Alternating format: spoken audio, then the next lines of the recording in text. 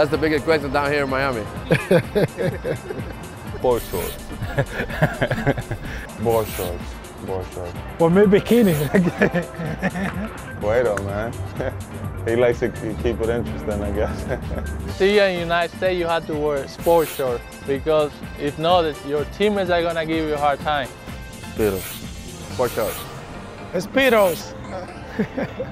Bueno, de, de- de seguro, creo que los chores más largos.